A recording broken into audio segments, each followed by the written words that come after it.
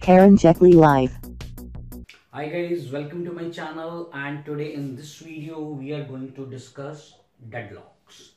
Now guys, those who study operating system or those who study concurrent programming, okay, so very often they come across this term called as deadlock. Now today in this video we are going to discuss it, what is a deadlock and what are the necessary conditions for a deadlock to happen, okay. And then in the next video we are going to discuss how we can get rid of deadlocks. okay? So first things first. So what is a deadlock? So guys deadlocks is a condition okay when one process is having some resources and waiting for some other process to release some resources so that first process can finish its processing okay? And at the same time the second process is also waiting for some resources okay? Which are assigned to some other process. And again the third process is also waiting for some resources which are assigned to the first process. Okay? So all of them are waiting for each other to release some resources so that they can finish their processing. Okay? Now in this condition all are waiting and no one is making any progress now this condition is called as deadlock. So guys, this is the definition. Okay. Now whenever we talk about the deadlocks definition, always it is one waiting for another, another waiting for another. It is kind of confusing. So now pay attention. What is a deadlock? We will take it with the, we will discuss it with the example. So as I told you, deadlock is a condition when we have more than one process. If there are only one process, then no deadlock. Okay? So suppose we have three processes p1 p2 and p3 now suppose process p1 it needs two resources to complete its execution r1 and r2 and the process p2 it also needs two resources that is r2 and r3 now, and we have process P3. It also needs two resources that we can say R3 and R1. Okay. So, they we have three processes. Now, resource R1 is already assigned to P1. Okay. And resource R2 is already assigned to P2. And the resource R3 is already assigned to P3. Now P1 is having R1 and it is waiting for P2 to release the resource R2. Okay. And P2 already has a resource R3 and it is waiting for P3 to release the resource R3. Now P3 already has R3 and it is waiting for the P1 to release the resource R1. Okay. Now what is happening? P1 has something but it is waiting for the something which P2 has. And P2 already has something. It is waiting for P3. A, eh, which is waiting for P3 to release that thing. And P3 already has something and it is waiting for the P2, P1 to give him the additional resources which it requires. For example, P1 has R2, it is waiting for if P1 has R1, it is waiting for R2. P2 has R2, it is waiting for R3. P3 has R3 and it is waiting for R1. So all are waiting for each other. Now, in this condition, what happens? They all keep on waiting, waiting, waiting, waiting, waiting, and none of the process can make any progress. Now, this condition is called as a deadlock. This condition is called as a deadlock.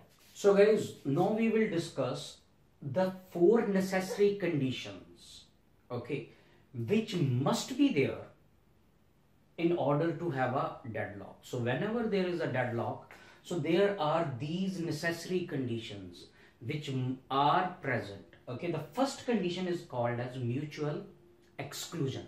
Now, what is mutual exclusion? Mutual exclusion means at a time one resource is allocated only to one process.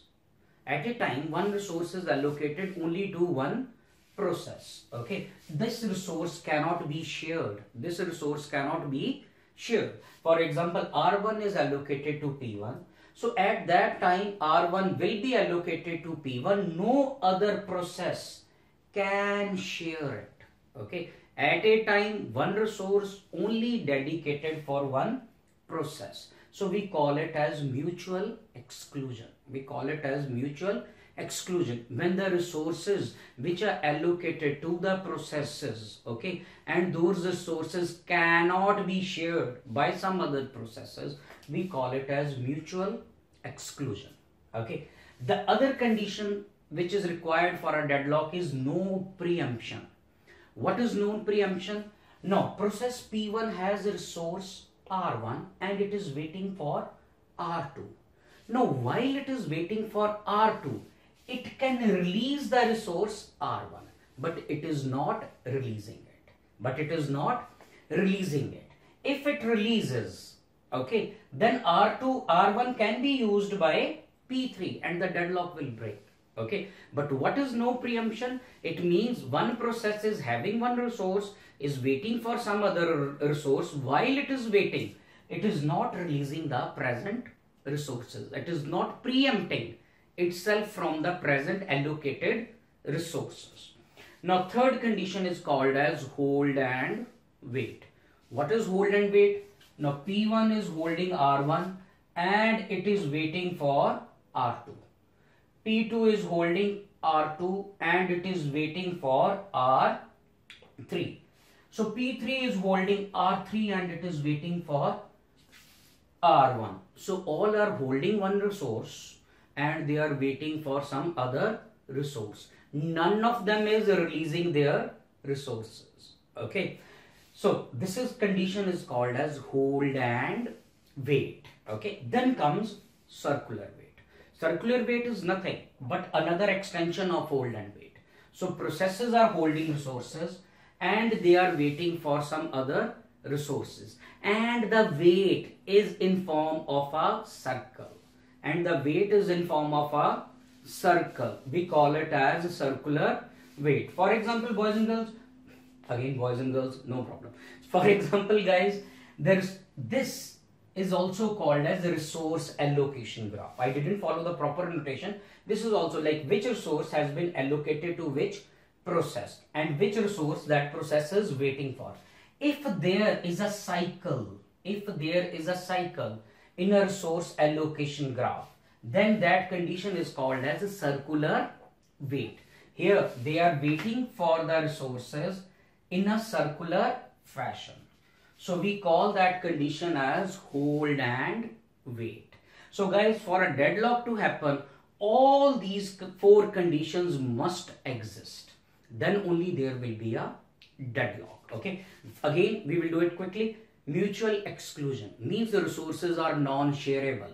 One process is having one resource and it is not sharing it with some other process. Then we have no preemption.